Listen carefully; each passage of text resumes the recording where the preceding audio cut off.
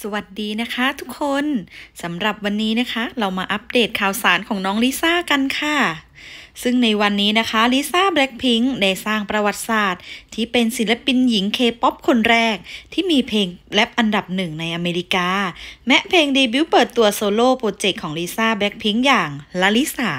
จะสร้างสถิติใหม่มากมายนับไม่ถ้วน แต่ล่าสุดอีกหนึ่งเพลงของเธอ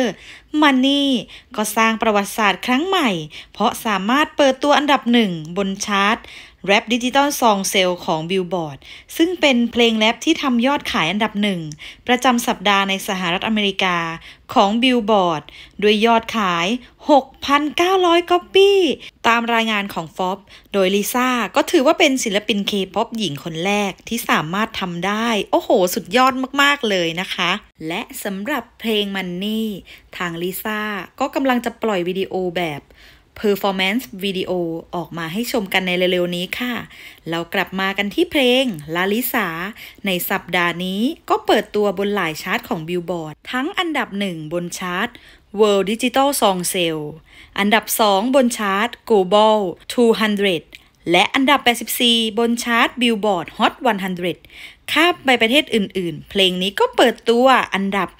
42 บนชาร์ต Canadian Hot 100 ของแคนาดา และอันดับ